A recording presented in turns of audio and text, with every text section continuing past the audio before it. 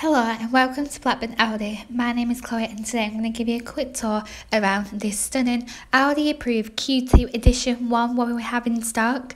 It is a 2 litre diesel engine and gives off 150 PS. At the front of the vehicle we've got the LED headlights. With the headlight washer jet it's making sure you have the visibility that you need on the roads. The blacked out grille and the black trims around all windows and doors alongside with the S-Line badging. We've got the black exterior mirrors. These are electrically adjustable, heated with integrated LED side indicators just for your convenience. We've also got the Audi ring decals on the blade for the key cover edition 1. And as it is an Audi approved used vehicle, you will receive one year's warranty. This includes key cover, MOT cover and roadside assistance too, which really comes in handy. But going to the rear end of the vehicle, we have got the LED headlights with the dynamic indicators. Going into the boot now on this mini SUV, as you can see, is a very practical size, so it's perfect for any of yours or your family's belongings.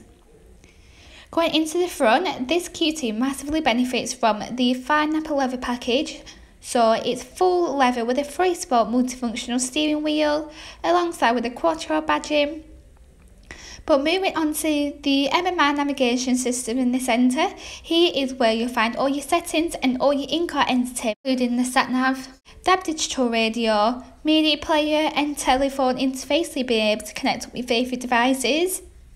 Moving further down, we've got Audi Drive Select button. This enables the driver to put their car into whatever mode they would like to drive in from these five to choose from.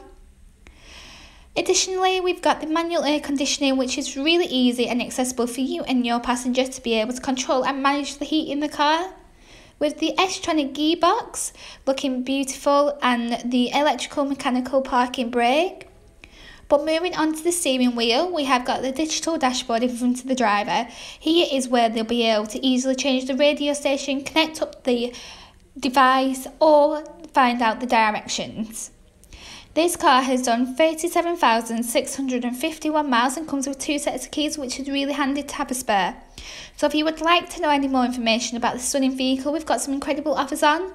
So please don't hesitate to contact us on 01254 868 216.